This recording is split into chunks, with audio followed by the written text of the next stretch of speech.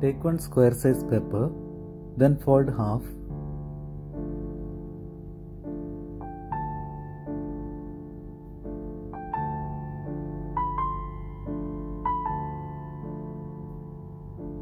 Again fold half.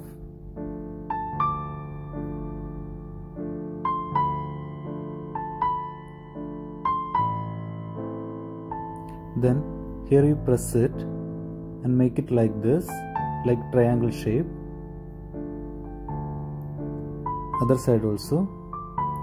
Keep it straight and press it. We got triangle shape.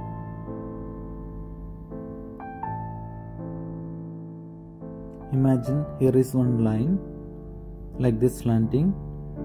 You have to fold that right side through that line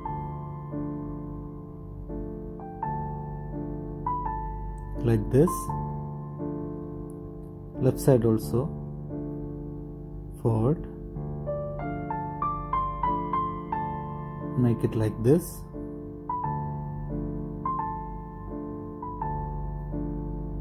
Then keep upside down. See this corner? Folded this much. Then the right side. Left side also like this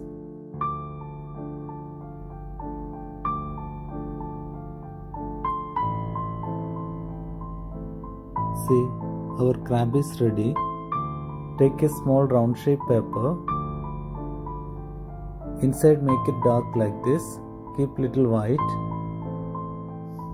Paste it here.